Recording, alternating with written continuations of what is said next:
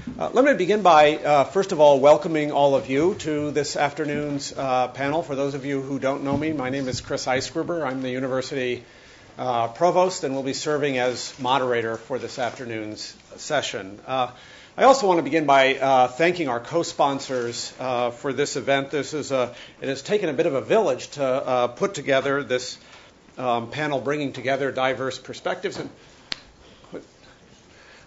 um, Monty, don't stand on. Just come on down, Professor. Uh, Jamal has made her way through the rain, so uh, we decided to go ahead and uh, get started as people were uh, filing in. But I, w- I want to thank the Office of Religious Life, uh, the Program in Law and Public Affairs, the Mamdouha S. Bobst Center for Peace and Justice, and the Woodrow Wilson School, all of which are co-sponsors of this afternoon's uh, event. And I'm exceedingly grateful for the many people affiliated with those offices who have uh, provided important support for this event and made it possible.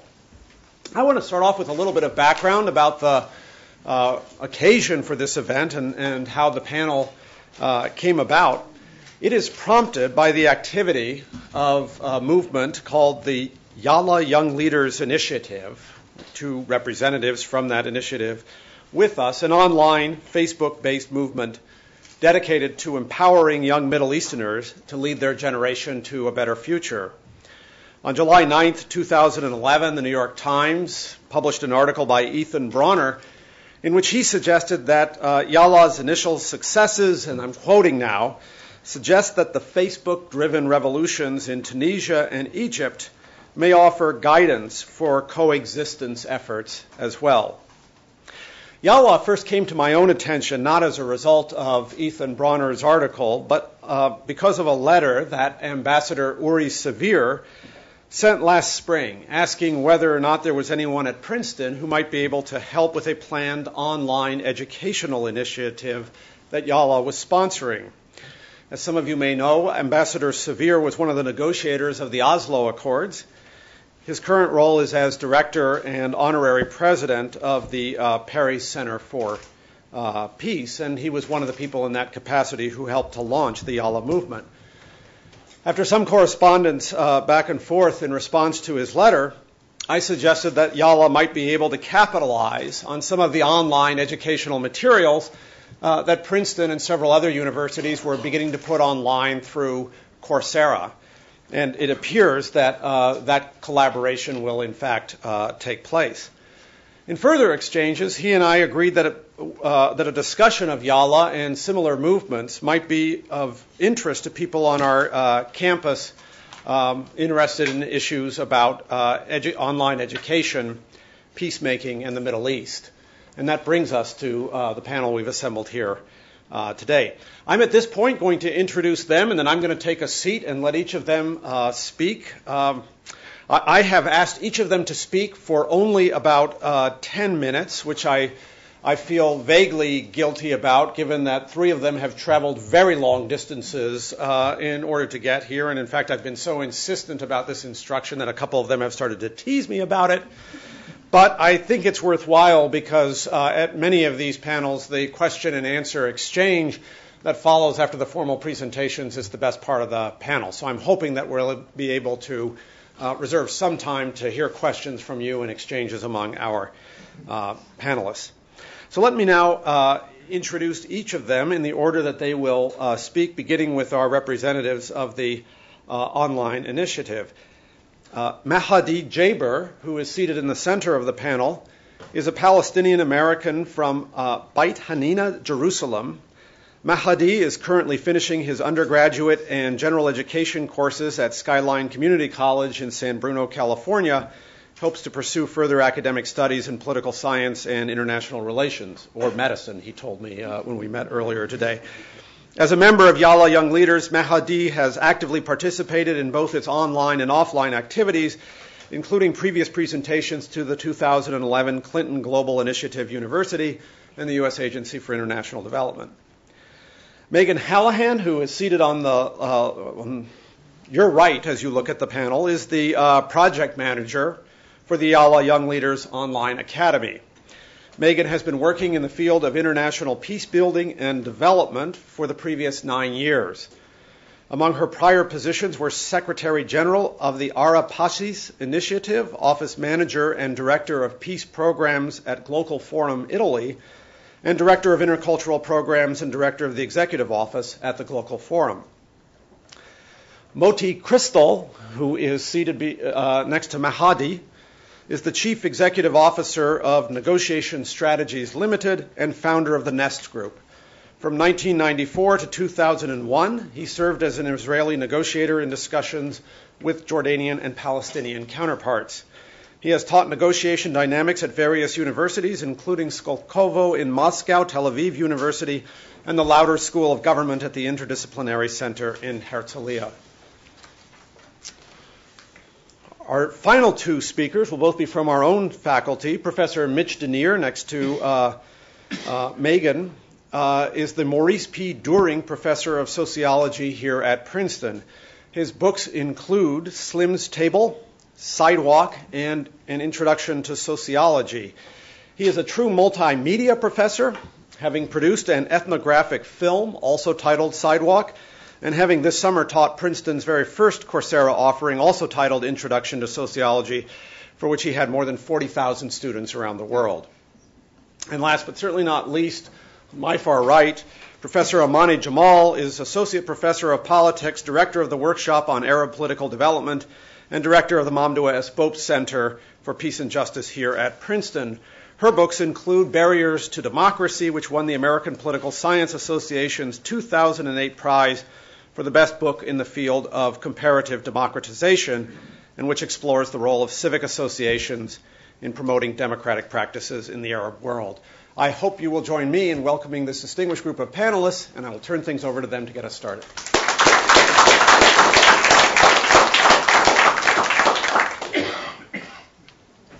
First off, I would like to thank everyone for giving me the opportunity to be here. Like as he mentioned, I'm Mahdee Jaber. Uh, I uh, I'd first like to start off by saying uh, YaLa Young Leaders was uh, inspired by the Arab Revolution, which took place. And uh, a couple months after the revolutions in Tunisia and Egypt, uh, we developed an online platform using Facebook called YaLa Young Leaders, just for Middle Eastern youth of all ethnic backgrounds and uh, nationalities to have a place online to just have dialogue, it, be it talking about the weather talking about serious issues of of uh, politics. Uh, and it may seem like a small step, but when you look at the Middle East it, in such a tumultuous time, where you have Israeli youth in uh, 20 minutes to the south, you have Palestinian youth who've never, who don't know each other, who don't know the simplest of things about each other. This is a very a very big thing to have Israeli and Palestinian and Jordanian and uh, Tunisian youth just talking. And uh, YaLa Young Leaders, it first started off, and we were proud to have 10,000 members the first couple months. Uh, it, uh, but as we've progressed and moved on, and we've realized that the the dialogue and the the uh, the collaboration between the youth is is truly inspiring and uh, we've we've realized that we can we have to take this from being just an online uh, collaborative platform to being uh, a center, to being a, uh, a, focal point of all these youth's desires to be active participants of, of social change. And uh, YaLa Young Leaders is is is the uh, is the platform uh, for them to do this. Um, we uh, in uh, what's um, I'm sorry. Uh, in uh, the first couple months, we realized that our, our participation was growing rapidly. We, as I said, we started off at 10,000. We have almost 200,000 members now, consisting of members of 70,000. Our, our strongest country is Egypt with 70,000 members. Uh, Palestine has 13,000 members. Israel coming with a 7,000 member strong community. And it ranges from all over the MENA region, Middle East and North Africa. Algeria, around 20,000. Uh, one of our most conservative countries, Saudi Arabia, at least has 2,000 active members. And uh, there's not one country in the Middle East or North Africa that we don't have uh, membership and we don't have uh, collaboration going on. Uh, another thing I would like to bring up is uh, is the fact that YaLa Young Leaders is not just an online platform for dialogue anymore. We're trying to move it into a, a movement for social justice, a movement for for youth in the Middle East, which constitute two thirds of the entire population of the Middle East. Two thirds of 300 million people is quite quite a large number, and uh, we want them to feel free to have a voice online, because the political and, and barriers are just so strong in each country, respective country. Uh, YaLa Young Leaders is, uh, in my opinion, it, it's great just for the sheer fact of the humanization effect that's going on between Israeli and Palestinian, especially. Although we do take up a lot of the attention, Israeli and Palestinians, it's not just for us, it's for all people of the Middle East. But naturally, we kind of take up a lot of the spotlight. But uh, I, I, just want to stress uh, the humanization effect that does take place. And the, I mean, it's never happened before. We've had an online conference which had 40,000 members uh, online all at the same time. And to this date, this is the largest online conference to take place. And uh, it, as I stated before, it was people from all over the Middle East. Every country was involved. And we use this online conference as a way for each of our members to state what they wanted in their country to change, what they viewed most important, be it women's rights in Saudi Arabia or social justice in Israel. Uh, we're really trying to make our online platform the focal point of that.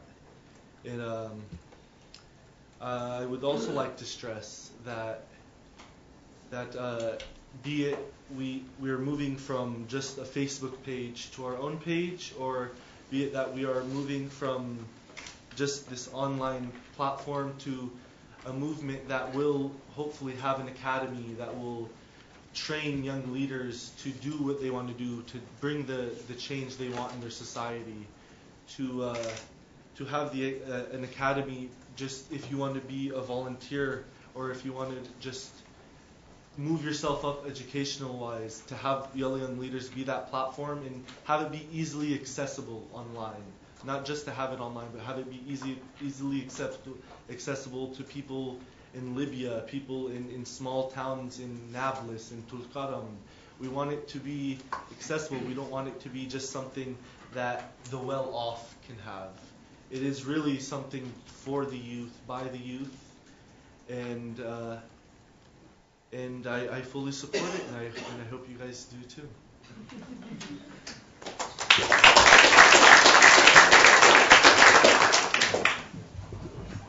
Thank you, Monty, and thank you, Provost Eisgruber, for your hospitality and your tireless efforts in putting this event together today and our visit here. Um, to expand a bit more about the activities of YaLa Young Leaders, uh, YaLa has outlined its core values and vision for the region um, in a document that we call the MENA Initiative. And the MENA Initiative is divided into a declaration of principles and a detailed call to action regarding democracy, human rights, economic development, regional peace, including a two state solution, putting an end to occupation, violence, terror, rejection, and hatred, and adhering to peaceful cooperation based on self determination, equality, mutual respect, cooperation, and security for all. The initiative has been conveyed to regional and world leaders, and we have actually just uh, received a response uh, today from David Hale, Special Envoy for Middle East Peace at the U.S. State Department, who writes to us that the results of your Berlin summit and concluding statement from this network of young regional leaders from across the region is truly remarkable. The YaLa MENA Initiative for Peace and Economic Cooperation complements U.S. goals in the region, and I welcome. Uh, so this is just one example of uh, the work that YaLa is doing on the advocacy side. Uh, we are also developing a number of concrete projects uh, based on needs and ideas expressed by our members during our online conferences, as Monty mentioned, and the ongoing dialogue, which happens every day on our Facebook page. Um, among the projects that are now under development are an online accelerator for startup companies, an online media portal for musical and video development and collaboration, an alternative tourism initiative, and our flagship program, the YaLa Online Academy, or ELOA. Uh, the idea behind ELOA is to supplement the higher education opportunities available in the Middle East with courses from some of the top universities from around the world, as well as cutting edge practical training from leading corporations like Microsoft, Facebook, and HP. The goal is to help our members to become the political, social, or economic leaders they seek to be, offering them training in 21st century skills like social networking, uh, public diplomacy, online activism, leadership, and cross cultural communication and conflict resolution. Uh, through online courses from Princeton and other leading universities delivered through a special community on the Coursera platform, as well as supplementary webinars and online modules and activities, ELOA will provide its members with the opportunity to learn new skills while interacting and working collaboratively with their peers from across the Middle East. In this way, ELOA will help to foster a new generation of open-minded, forward-thinking leaders across the MENA region. It will be the first cross-MENA Arab-Israeli academic institution of its kind. Although ELOA is partnering with universities and institutes from across the globe, YaLa sees great importance in partnership with U.S. universities as they are among the leading in the world and their faculty and students have a wealth of experience to share as well as to gain from collaboration with YaLa Young Leaders. So we're very happy to be here today and look forward to uh, hearing from you and to hopefully working together.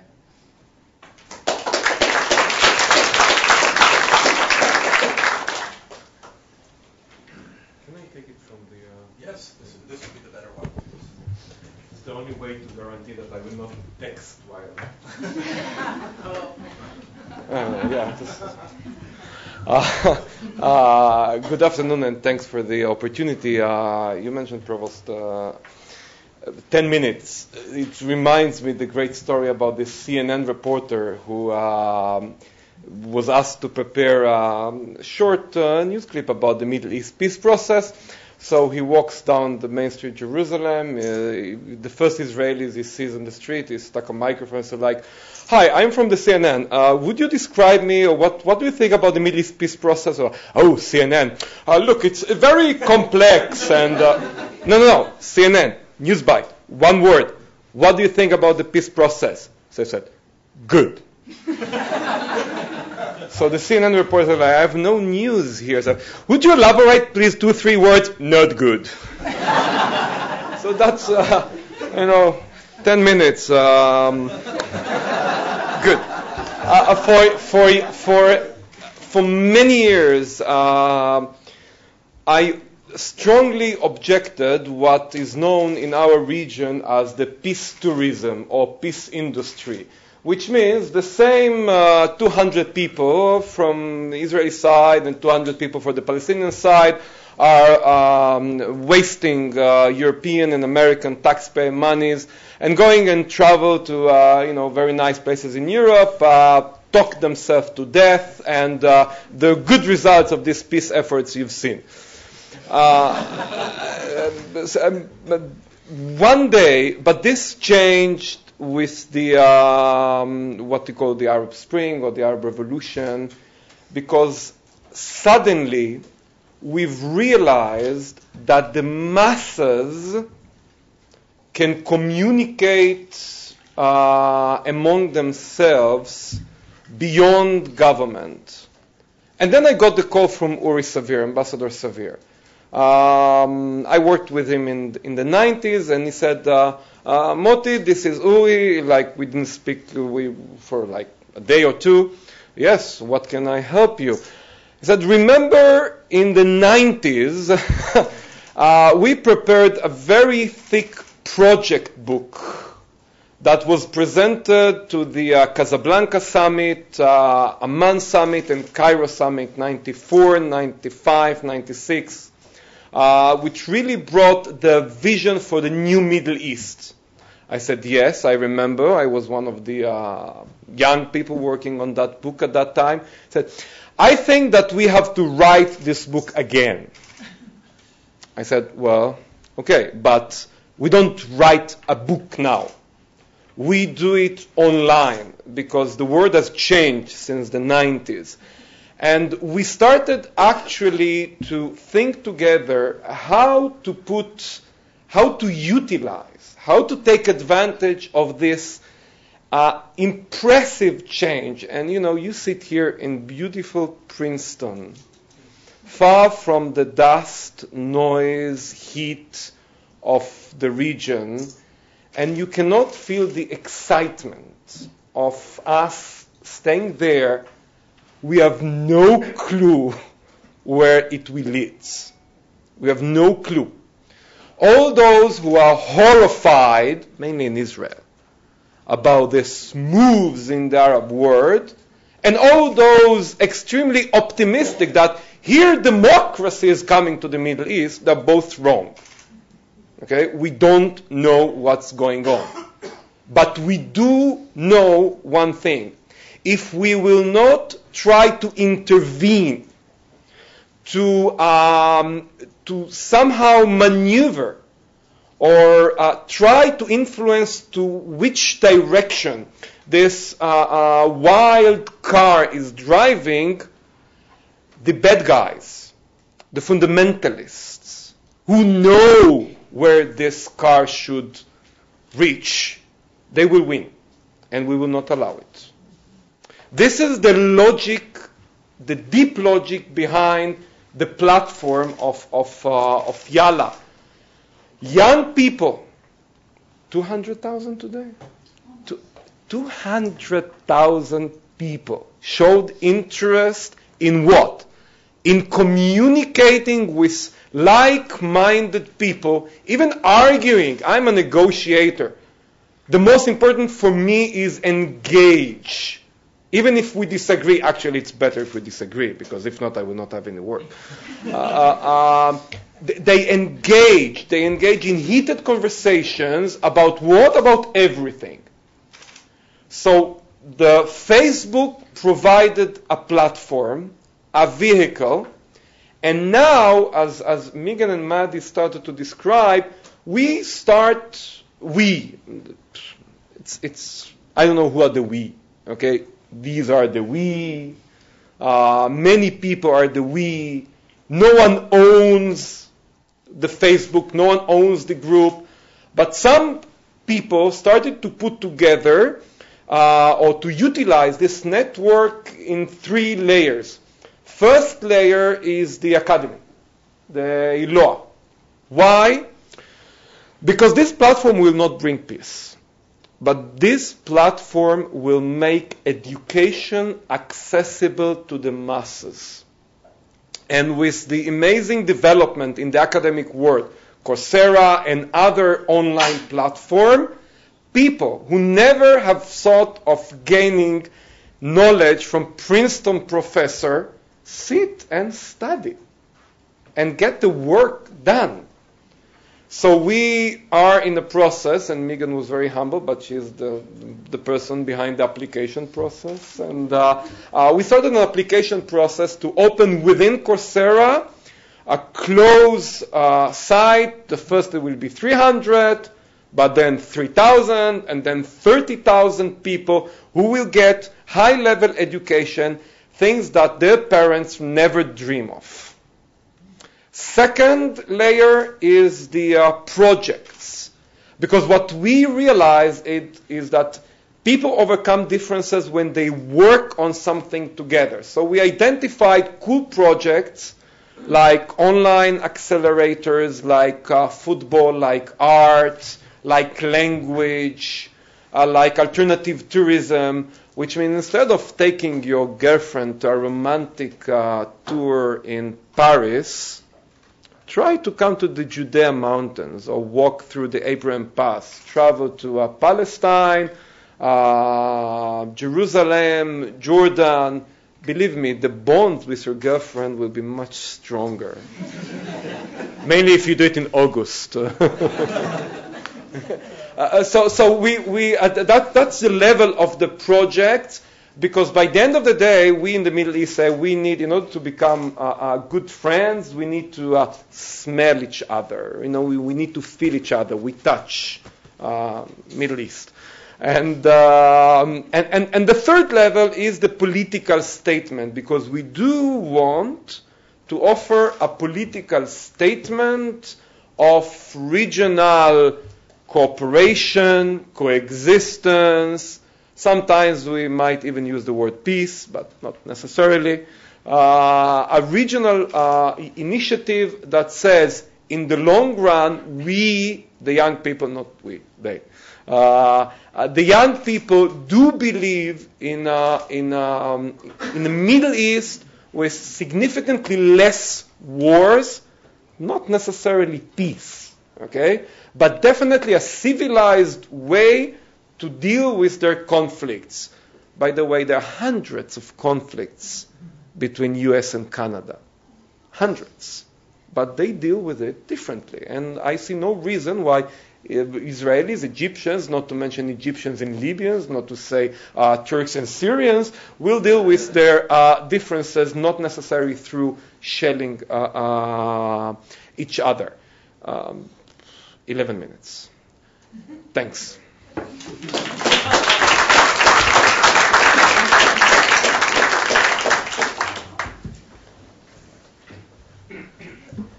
Thank you very much, Mr. Provost, for inviting me to this um, to this very inspiring group. It's really wonderful to be a, a part of it today and to hear these um, great presentations. I'm here in a different capacity than the rest of the panel because I'm not a Middle Eastern expert, and I am um, somebody who comes to this as a person who teaches introduction to sociology and taught an online class this summer. And when presented with the question on the poster for today, which was what is the potential for online communities to help people overcome um, separations, great separations along the lines of politics and culture, I tried to think a little bit about my own experience teaching an online class this summer and how it might help me reflect upon this issue. And hopefully, it will be somewhat complementary to the uh, issues that were raised by the other members of the panel. The class that I taught was a very scary experience for me from the very beginning because I knew that unlike classes like computer science and statistics, which had been at the forefront of Coursera when it began, sociology is a topic that the questions and the answers are going to be very different depending upon where you sit in the world and where you take your class. And the thought of trying to speak to 40,000 students, which, by the way, in this day and age is a small seminar online. You know, that's not a big class anymore. But the thought of trying to speak to 40,000 people, uh, 40,000 students from 114 different countries at the same time and take concepts that came significantly out of American sociology um, with its imperialist traditions um, and to try to, you know, bring, present those in a way that was going to be meaningful to people around the world and also not offensive was a significant challenge. And there were a couple of sort of um, things happened that surprised me. The first was this: was that I knew from the start that being in an online course and talking about subjects of the kind that I talk about in my classes, including just this past year at Princeton, um, the torture at Abu Ghraib or the um, Arab Spring, or in previous years, the situation in Gaza, I knew that talking about those things online was potentially going to be very complicated, especially with a large Middle Eastern audience. And in particular, because online, people are free to write whatever they want and to say whatever they want. The same kind of inhibitions that they experience in a classroom are not present when they're anonymous on the web. And so I was really afraid that perhaps we would have um, some kind of breakdown or that people would be writing offensive things to one another and that the overall goals of the course would kind of get usurped um, in a political discussion that was very difficult for me to really control and that could become quite emotional um, at times. And the interesting thing was that that did not occur. that the people that were taking this class seemed to be much more interested in arguing about the meaning of C. Wright Mills's third paragraph in the sociological imagination um, and discussing the significance of that paragraph for their lives than they were in trying to take what I said about the Arab Spring um, or what I said about the torture and turn it into a larger uh, discussion that was going to cause a rift on the course discussions and the course website. And much of what we have occur, do on, in the course occurs in writing uh, in these course forums, but we also have a live weekly discussion in which people from different parts of the world come together. Um, one of them, who is from Kathmandu, is visiting us today um, in the audience, and we had, uh, as part of that ongoing weekly group, um, a man from from Tehran, and we had people from Singapore and from a variety uh, of places at, at, the same time. And what we found was that both in the live forums and in the discussion forums, that th- it was a it was an atmosphere that was devoted to um, thinking about many of the smaller details uh, that we were trying to get at in the text and that I was hoping that the students would focus on rather than things that were really not intended to be the main focus of debate. Now, it kind of reminded me a little bit of your wonderful comments because I felt as though there were times at which, for the people taking the class, it was much more meaningful that the, you, you talked about people having discussions about the day or the weather and things like that. And I felt as though sort of the functional equivalent of that in my class was sitting there and wanting to talk about, well, how does face to face communication work in the various uh, parts of the world and how does it change and how, how is it different? People could find a commonality um, in their interest in topics of that kind that they might not have been able to find in the bigger political issues. And so, how do I explain this? Well, the main thing that occurred to me as I was teaching the class was that if we were to divide the world in the most simplistic of ways, and I would never do this, even in an intro to sociology class, I would never teach my students this, but if we were to divide it in the most simplistic of ways between the open minded people and the closed minded people, or perhaps the cosmopolitans and the ethnocentrists, that the people that enrolled in this class, that selected into this class, they were really interested in being open minded. They were interested in, in, cosmopolitanism. They were interested in civility. And they were interested in developing ties with people who were different than themselves, but also who were very similar than themselves. And so it kind of brings me back to the question. On the one hand, yes, I think that online communities can help us to develop ties among people with very different politics, but not necessarily among people with very different cultures if we think of culture as a kind of value, a value of open mindedness, of civility, um, of cosmopolitanism. I think that what we have here is a kind of unity that is occurring among people who come from that culture, that world culture, who are coming together and they're saying, we want to have contact with one another. Now, the next question is, and this is the question that I can't answer, um, but my friends in political science will have more of a grasp of is how do we turn that into a dialogue that can help solve political problems? And with that, I will turn to um, my colleague in the political science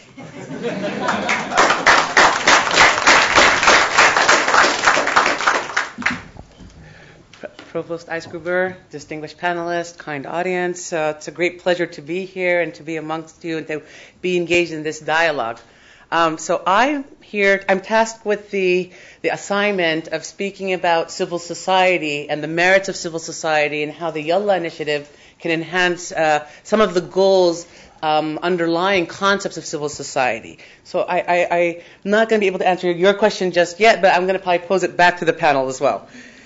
So when we think about civil society or what what mechanisms might emerge from civil society that might enable or, or, help this group accomplish its goals, which is basically to understand one another better, um, to coexist. Although i am beginning not to, to be a fan of the word coexistence as much as we should not only aim for coexistence, we should aim for reconciliation.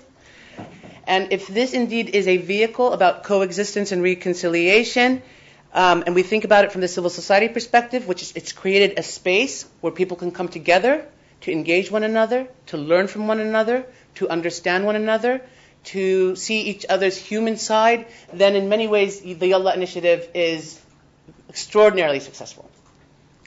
But it's even more successful than that. And let me tell you why. Let me, let me draw on my own experience. I was evaluating proposals for uh, an organization that I will not name, um, and organizations to, uh, sorry, proposals to enhance civil society in the in the Middle East, and we received hundreds, hundreds of proposals, and of course the budget was limited, and several proposals came in that basically said, you know, this NGO is going to bring the youth together to either play basketball, to, or this NGO is going to bring, bring uh, workers together so they can harvest the fields together.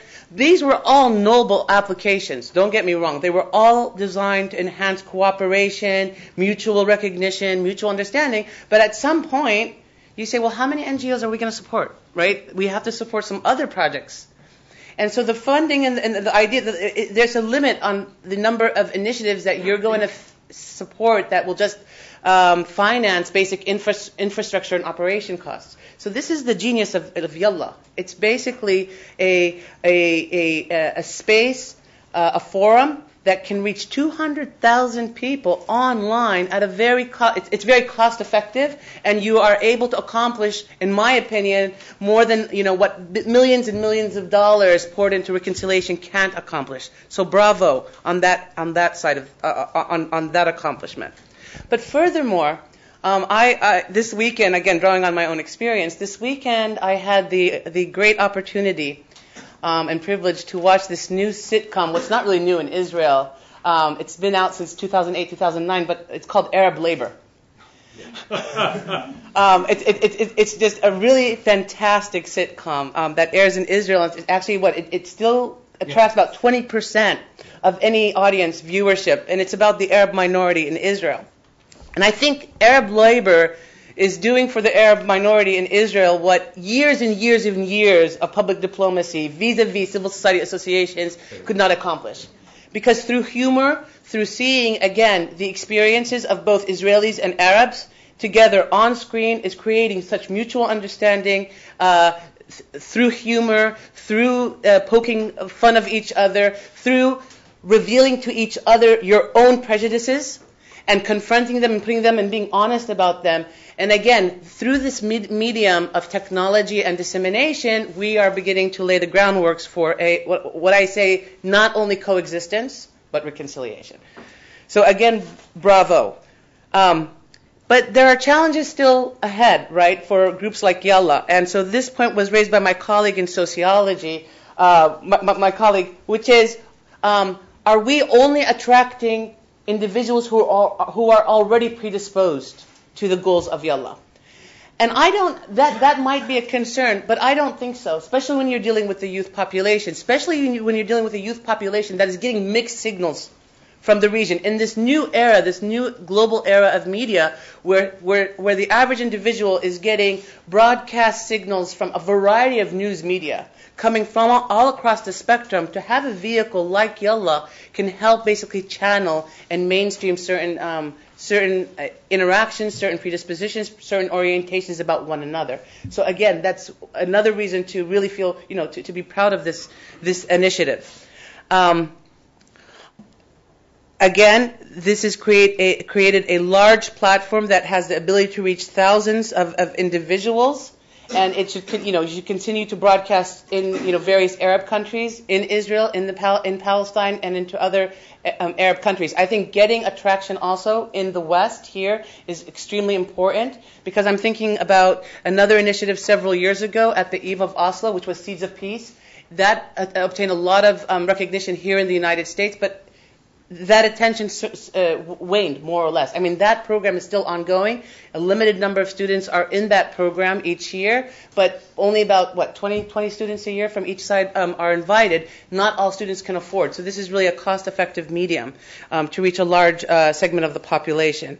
So I, I do believe that YaLa is designed to create the basic foundations of what is needed in this conflict my only hope, and I guess posing the question back to the panel, is that the political leadership on both sides can seize on the opportunity, can seize on the momentum to reflect the, the desires of the, of the youth population. Because as we saw with Oslo, right, there was a tendency towards reconciliation. There was a moment in the Oslo period by 93, 94, before the wave of violence in 95, where we began to hear about reconciliation, where we began to hear about the humanization on both sides of the spectrum. I mean, one of the big ironies about Oslo is not only that we didn't get to a peace uh, settlement, but is that, that, that, that, that, that trust, if you may, right? Building trust is important in, in this conflict. That trust that was there, that was beginning to emerge, was totally shattered. And not only was it shattered, but it became part of the problem. Because we trusted one another, this is what happened right?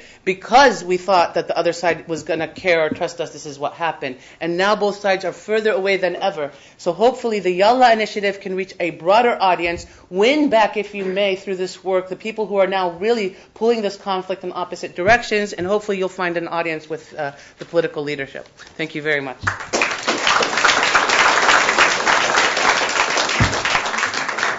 Well, our speakers have done a tremendous job saying a lot in a short time. Moty Cristal said that uh, he believes in engagement. I believe in engagement too. We have an opportunity now for engagement, so we are open for questions. Stan Katz. I just have a straightforward request for information. I mean, I think the, the notion of the Coursera platform is fascinating, uh, but everything depends upon what you put on it. And I wonder whether you have even an initial notion of what the content uh, would be because you can imagine all sorts of a parade of horribles that you don't want. What do you want? Uh, um, we have a pilot that we're going to begin in January, a one-year pilot to uh, begin to work out these questions. And for that pilot, we have selected about uh, nine courses um, most of which are on Coursera, a few that are being given directly to us from other universities not on Coursera. Um, one of which is Introduction to Sociology. Um, we have another from Princeton, which is Network Bytes and Money. Taught by Professor Mung Chiang, yes. Yeah. And uh, a, a, variety of others from Sabancı University in Turkey. We have um, International Relations.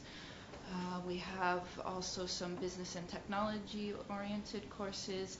Um, our goal is to have three main areas. One is business and technology, the other is regional peace studies, and the other is uh, modern political activism and diplomacy. Can you just, uh, uh following that, can you just uh, say a little bit about the survey and what came out of people who would like to participate? Yeah, we did a, an online survey of our members uh, to find out what it is that they, what their background is, uh, what they're currently engaged in studying, uh, what, or what degree they've already obtained, um, and what they're interested in doing in their careers and skills that they're interested in gaining. Um, and we had a lot of uh, responses that surprised us. We thought most of the interest would be geared because employment is such an issue in the region. Uh, we thought most of the interest would be in business and technology. Um, but we found actually that a lot of the interest was geared more towards good governance and political activism, negotiation and mediation, um, as well as um, the other one, the, the regional uh, peace studies as well. So um, we incorporated that in, in further developing our um, fields of study. Uh, we're still keeping, obviously, the business and technology as that is important, and there was um, interest, just not as much as, as we had originally um, thought. And our members really have goals for their career as varied as, as any diverse group we had a lot who, you know, hope someday to be president or to run their own businesses, um, things like that. so it was very interesting. Of course, we manipulated the results to introduce uh, introduction to French cuisine. we have an Italian cooking course here in our curriculum, gastronomy, but okay, okay. but not French. Professor Shepley. Uh, initiative, and I'm wondering what language all this happens in and whether that's a sorting device. You know, so the Coursera courses are probably going to be in English. And I'm wondering how English is distributed around the region, who has it, is Facebook going on in Arabic and Hebrew? Uh, so talk, talk to me about languages and who speaks them and how that affects who you reach. Um, it, well, the online courses will be in English but that is because it's mostly requested by the people who took the surveys because they want to advance themselves in English. They want to immerse themselves in the language. But uh, obviously, Facebook does have, you could, in any language that's out there, you can have your Facebook be in Arabic, you can have it be in Hebrew, and, and anything. Uh, but the, the majority of, of the people that, that did the surveys and everything were very much interested in, it being in English. And um, But on our Facebook page, um, there is interaction happening sometimes in Arabic, sometimes in Hebrew, the majority uh, in English, sometimes in French, also from our Maghreb uh, country members, but the majority is in English. Google Translate's not all that it's set up. We have Google Peace translators who like manipulate whatever Question all the way in the back. Is, is YaLa attracting any youthful fundamentalist voices? And are you experiencing any pushback from more fundamentalist uh, adults or, or older people, should we say? Uh, well, obviously, yeah, it's the Middle East. Not everyone's all like, "Yay, peace, let's do this." So I mean, it, the, at the, we do have a large, very large youth, segment of youth that are all for it, and they're just, just, just interested, and they're just yearning for that, that connection, and just they're just very curious. But it, at the same point in time, we do have people who are mainly an older crowd, but you do have it in the youth as well that that aren't all for it just because they're skeptical, they're they're suspicious. You know, conspiracy theorists are very big in the Middle East, um, especially when it pertains to Israel. To be very blunt, Israel being connected with this project did have a lot of repercussions with people publicly saying if you're from an Arab country and you want to publicly be in YaLa, that that might that might be a problem for you. You might look at the idea of normalization in the Arab world. I think is something that needs to be addressed, and uh, we we have had members who who have felt the need to not publicize their names and kind of hide their origins on Facebook. Uh, for good reason, they have every right to do so. Uh, but it is a majority of it is people who are just they don't care what their governments restrict. A lot of people, a lot of governments do restrict Facebook, do restrict Twitter, but people get around it. You know, proxy sites. There's uh, if you're interested and you're truly yearning for it, there's always a way to get around it. But we do we do have people who who, who push that that say if you're an Arab and you join this, you, you're a traitor. You're you're just you're giving up. You're you're being double-sided, and it's you know it, it is there. It is there, and uh, we've yet to address it. I don't know if if that can be addressed very in, in, in one short answer, but the problem persists. Yes, here. Uh, uh, uh, But to follow up with a question just asked, couldn't your organization could be the platform for the for the fundamentalists and and, and to and to uh, uh, spread the uh, uh, misinformation? To spread uh, fundamentalist information? Uh, yeah. I mean, honestly, no, because a majority, a majority of our of our 200,000 members are not uh, are not spreading a, a more conservative fundamentalist view. It, we do have, as in the internet world, we like to call them trolls for Facebook, people who will who will spam and just just drench the page with all these links and and their very opinionated conservative fundamentalist views but it's it's nothing that affects the site. If you were to just join YaLa today and you were to look at the page, it wouldn't be filled. A majority of it would be filled with our posts, with posts from our, our members in their respective countries, uh, but it, it wouldn't be an overwhelming sense of, of a fundamentalist view. Professor Jamal. Yeah, I just want to chime in on this issue of the stigma linked to the, the youth embracing normalization activity in some countries where even that have s- s- more or less normalized relationships with Israel, they still don't uh, sanction normalization at the civil society level with Israel. So for these youth, to be openly joining on Facebook and seeking uh, and, and, and, participating is a huge testament of, of, of, of, of wanting to at least be in dialogue with the other side, um, if we want to label it that way. Um, you know, even even there are a lot of you know friends that we have, and we know that cannot travel freely between countries if they're seen as quote unquote the normalizers. So I just wanted to put that out there. Yeah. Yes. Uh, uh, uh, I'm from Nepal, and uh, um, uh, though we have completely different political situation, but we do have a similar kind of um, Facebook movement, especially social media movement that are going on. And in the last four years, what we have seen is at one time there was a craze for this um, uh, we have uh, out of total uh, our population 13% of the population uh, they have access to internet and out of them 97% use facebook so in this context uh, and we have uh, two third of our population is young population is below 35 so uh, in the last four years uh, in Nepal, uh, the political change that has gone through, we just overcame through the 12-hour long internal conflict, and after that, we, we used to have a series of bandhas that that we call strike.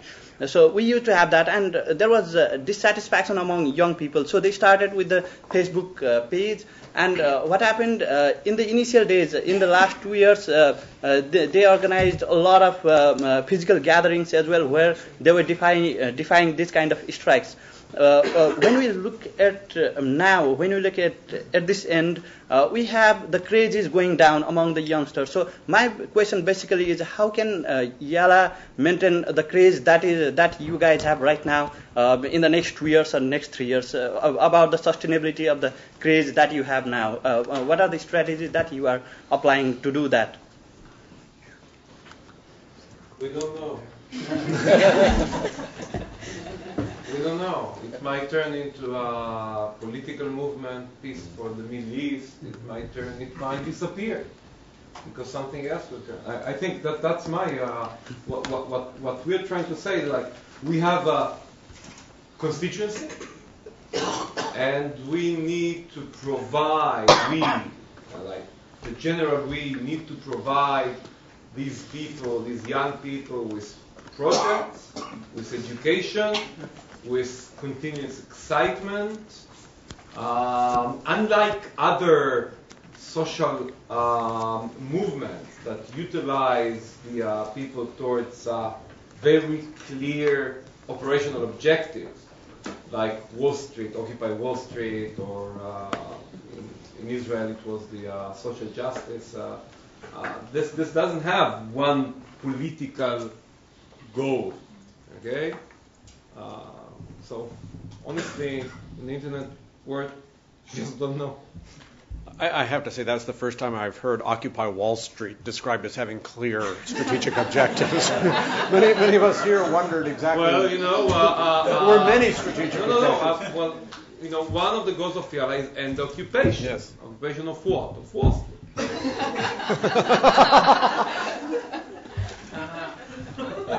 let me, if, there, if there's a moment here, let, let, let me uh, tag on to the um, question from our visitor from Nepal, who's one of uh, Professor Duneier's 40,000 students, right, who has come for office hours, I guess, uh, long, long, way, and, and, just pick up on a question that I think it was Professor Duneier asked about next steps by uh, political leaders. Is there, you, you, don't know what the movement may become. Uh, clearly, you're taking some steps to uh, keep political leaders aware of what's happening. You mentioned the, the response from the U.S. State Department that you had received today. Are there things that you're looking for uh, from them, or things that will be important to this, or do you want them simply to be aware of what's happening in this domain?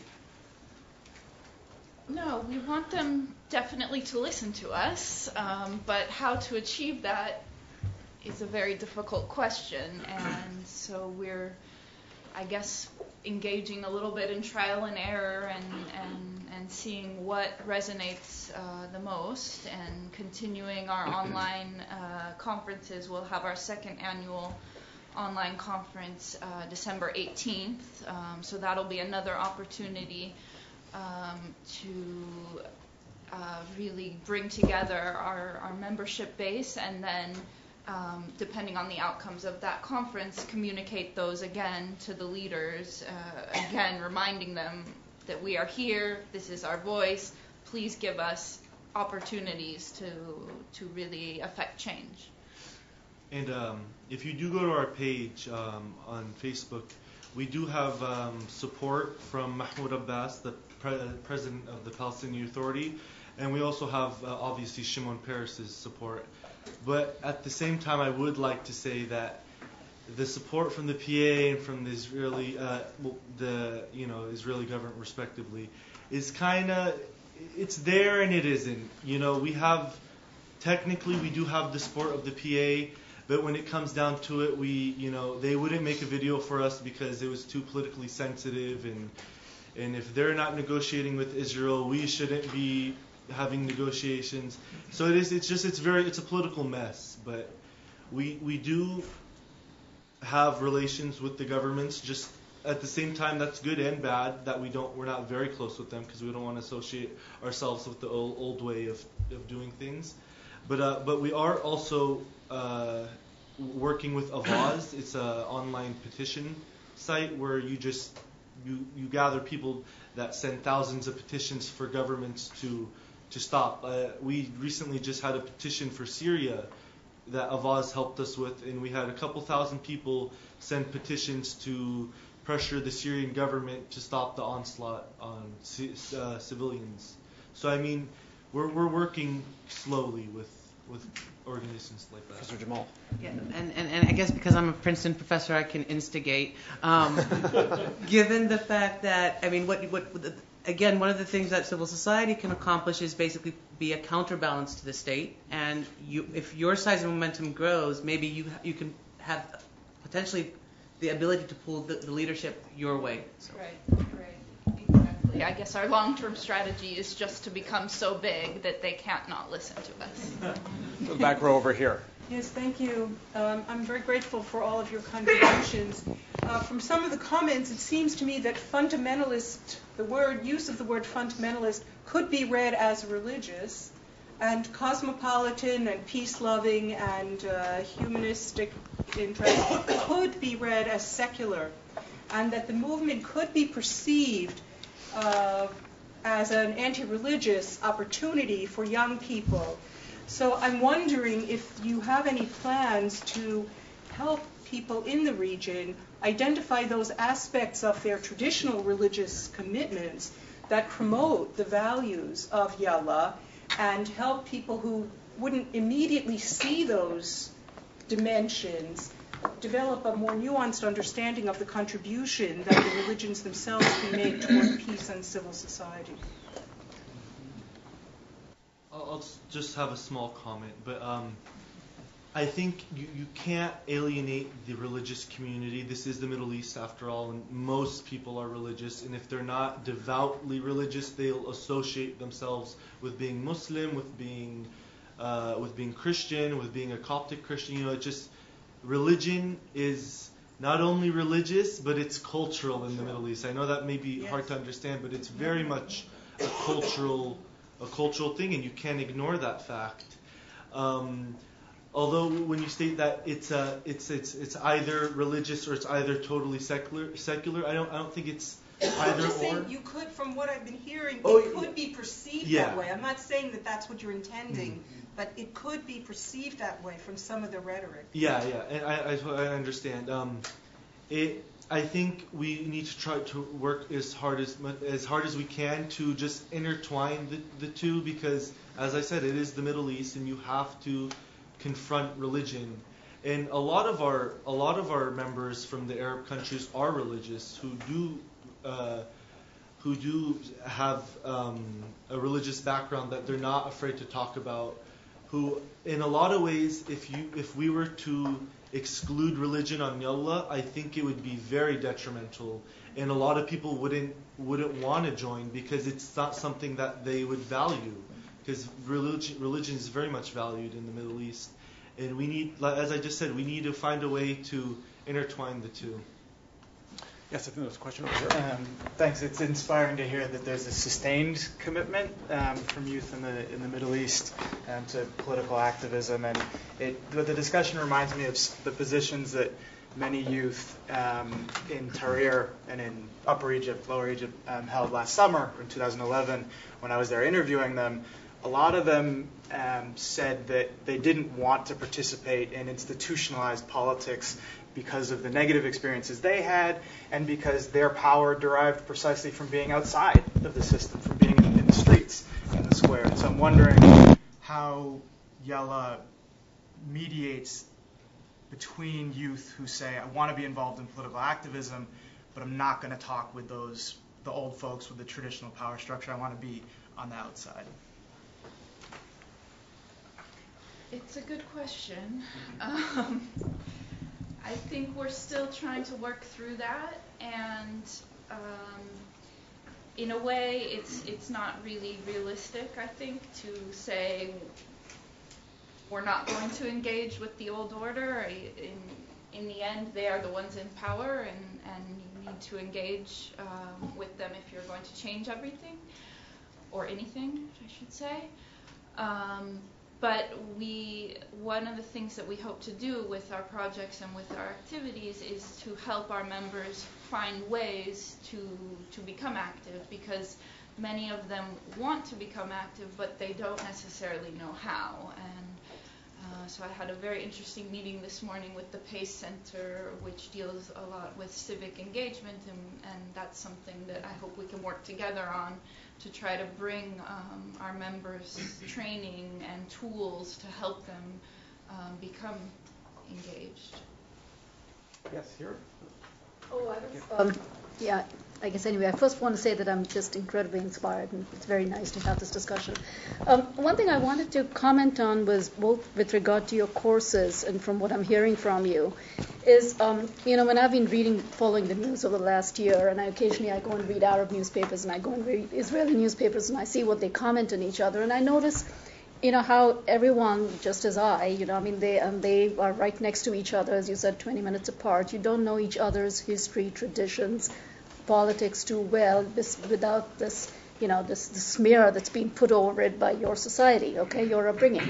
And this offers a potential for change. And i was wondering whether you can maybe both through courses i'd be surprised if there wasn't more interest. You know you said there was interest in governance um, you know, one of the things I felt growing up in India, even if it was, you know, 20 years after independence, but you were constantly, you know, what was India? What was the concept of government and what was development? This was constant discussion, and it continues today. And I'd be surprised if that wasn't true in the Middle East. And so young people should want to understand forms of government and what has succeeded, and that might be one thing to study even Western models or, you know, models all over the, to try and understand that. It's the same thing with understanding your religion and history. I mean, you, you don't have to have fundamentalism in a bad way, but just uh, to get a better sense of who you are as a nation. And uh, I thought that would be kind of nice. So that's something to approach in the courses. And then, can you consider having guest speakers who are moderates? Maybe somebody who puts across a religious perspective on something that's a divisive issue that everyone's arguing about, maybe not from the government, but someone who you choose and you have panelists and have a conference where people can engage with this person. Maybe it's a somewhat controversial issue, but it's not the government exactly.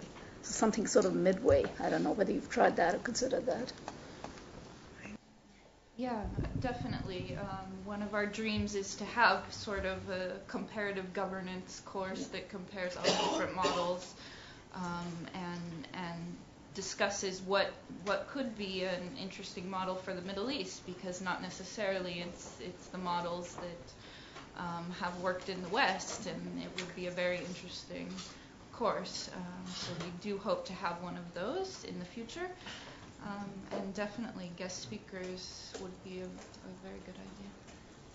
I mean, I, I should perhaps add there my, my sense from um, our, our guests from YaLa is that they would love it if they were able to um, induce these kinds of uh, courses. The Coursera model enables them to, in a sense, piggyback on the offerings that are already uh, there. But I know that their fond hopes are that some of our faculty who teach in that area will choose to participate in that uh, program, or that others at other universities uh, will, and that would give them more capacity to do that. If that were true. Dean Bowden. Um, it's my sense that YaLa is a relatively, relatively low-cost project, but you have donors. Do you ever experience um, agendas from those donors, We don't have. messaging? We don't have. Very few donors. I, I'm just going on what I learned from them over lunch. The State Department.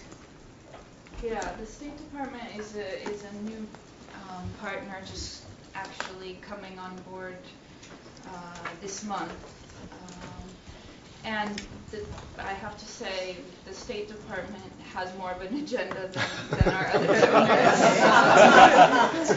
so we, uh, we hope we'll be able to accommodate that. And I think we'll find ways to to achieve our mutual goals. But yes, um, the State Department has much more of an agenda than our other donors, the government of Italy, the government of Norway.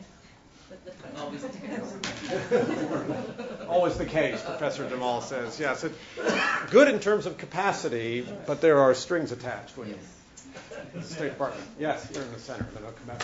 It seems that um, you've transitioned from a forum on Facebook to have a discuss- discussion to an organization. And uh, an important thing for organizations and organizational design is to have a mission statement. I'm wondering, do you have a mission statement? We, we do have a declaration of our principles, and um, it actually took we, we waited a while to to state something political. In the beginning, we, we just stayed clear. We didn't want to say anything political. We didn't want to be biased. It's very hard being neutral, so we steered away from that. But as we as we grew, I, I like to say as we grew older with YaLa, uh, we felt more comfortable stating that we are we are for a two-state solution. We're an end to we're for an end to occupation. We are for mutual recognition of one another, and we really finalized that in our in our participation in the Berlin Peace Summit, where we finalized our stance and we made it very clear that this is what we stand for and this is this is what we want. So yes. Let, let, let me represent a little bit of uh, gaps. Okay, it's not that I'm uh, younger or I don't even have Facebook, but uh, I, I, I, I'm not necessarily agree with my uh, young colleagues, and uh, I'm afraid of what uh, you were saying about turning into an organization because organizations have agendas. Organizations need money. Organizations enter into negotiations rather than a dialogue, which is structurally and conceptually different uh, thing. Okay? Uh, this is why one of the reasons that I keep uh, disturbing uh, the YaLa work is to make sure that it maintains its network, uh, loose network uh, structure rather than becoming another peace uh, organization because uh, we had so many very successful peace organizations in the Middle East. Uh, we don't really want to. it's almost as worse as the Jewish word, by the way. Another Jewish organization. We, we, we, we, we definitely don't want that. Well, I, I am going to go to Professor Katz for a last question, and then I will ask each of our panelists whether they want to make a last comment. And I think I'll do it in reverse order from which they spoke. So I'll start with Professor Jamal. Professor Katz, last question. I'm going to ask a different question than I was. It's not a question really, but it's provoked by what Moty just said and by this, this question. Uh, you know, you have to be careful what you wish for. Um, it's rule one. Um, I'm going to ask, I'm not going to say anything more about this guy. I'm going to ask Mitch to explain at dinner what um, institutional isomorphism is. That's what you have to look out for. Um, our experience with organizations of this kind is they tend to the same forms in the end. And I would suggest that in the end, what we know is that Moty's wrong. If you're going to continue, the longer you continue, the more organized you have to become. And that bears on the original question because what you just outlined, uh, is really, I would say, not a strategic um, statement, uh, but rather a series of political goals, which to share and, and support. It's not an organizational strategy. And I, what I haven't heard yet is what organizational strategy is going forward. Uh, so I think it's a big move from where you are now, where I hope you will be in a few years. One of my colleagues says you can always turn a comment like that into a question by adding at the end of it, isn't that so? so that any of you want to reply to the implied question. You said it wasn't a question, but I, I want to give our panel a chance to respond directly if anybody, if any of them want to say anything about institutional isomorphism or other aspects of that uh, query.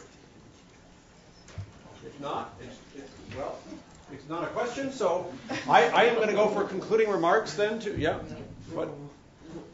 Let's make sure that nobody wanted to respond. Um, Okay. I guess part of my concluding remarks will, will address the is, isn't that so? I, I think in many ways we might be in new terrain here, right? Because here we have an online community that is trying to basically transcend borders, bring a community together to sustain dialogue with the hope of reaching some kind of political objective. Now, whether that becomes organ- uh, institutionalized or remains sort of like a loose network of individuals, at the end of the day, you need to keep that momentum going. And, and I'm not, the truth is, I'm not exactly sure. I don't think we've ever seen this. Um, you know, in, many ways, if you look at um, mobilizational cascades, they normally happen with collective action on the ground. Sorry to use political science jargon. People go out and they demonstrate or they do something of that sort. How are you going to keep and maintain a mobilizational cascade, if you may, online is uh, is going to be a difficult task. Um, what I did hear, though, is that there are there will be groups coming in with certain agendas and trying to steer your direction. Um, there's going to be debates about the politicization of your organization. Are you too pro-Palestinian? Are you too pro-Israeli? Um, and I think you're going to have to steer clear of all of that. Um, I mean, I can tell you what not to do, but I'm not really sure what to say in terms of how you're going to do it. Um, and I don't know if who who do we go to for that type of online knowledge. Um, sorry, wasn't really helpful. Quite helpful.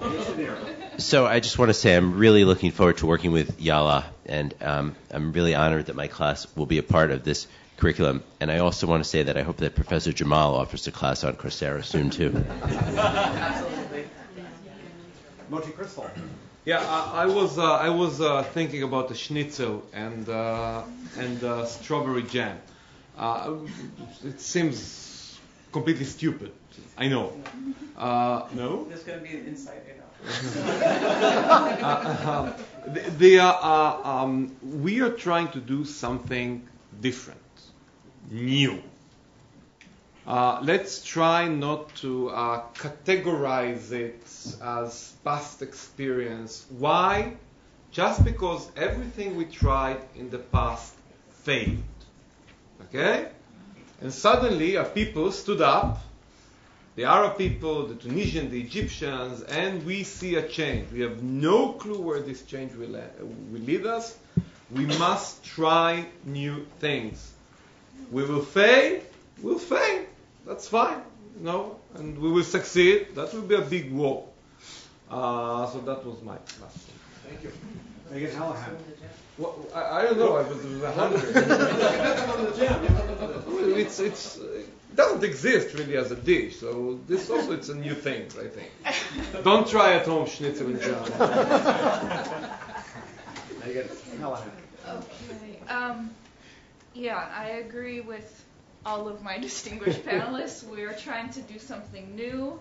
Um, we don't want to be stuck in the in the old boxes, so uh, we don't really have a clear answer to the question of our organizational uh, structure and, and strategy, but uh, we are experimenting. We have our core organizations that were the co-founders, the Peres Center for Peace and Yalla Palestine, that are sort of the motor behind uh, what we're doing, but we also have our steering committee of members all over uh, the region, and they are taking on different roles and responsibilities, and we don't know structurally, organizationally where that will lead us, but we are definitely trying to experiment and, and find new ways. So let's see where it brings us. Mahdee Jaber. And to give you another obfuscated answer, is is as we've all just said, it is very new. It's ever evolving. There's there's no we never know what's going to happen. So I mean, it's it's just as I just said, it's ever evolving. We just we need to take it day by day, and we will try our hardest to stay true to our core values and not have interest groups take over and have this just become another movement in the peace industry that's rich and, and famous. But we will try just to stay true to what we what we were in the first couple weeks of YaLa. It was a true, genuine yearn for something new, and as long as we could stay with that, I think we're on a good path. Well, I will say in, in closing that uh, those of us who care about uh, coexistence and reconciliation, to use Amaney's uh, terms, in the Middle East, know that if anything is to succeed, it is going to have to be something new, and it's going to have to require a willingness to take chances on ventures that are uh, innovative and outside of the box. I'm grateful to our guests today for telling us about their venture of that kind. Grateful to all of you for coming, and I want to thank our terrific panelists for their presentations. Thank you.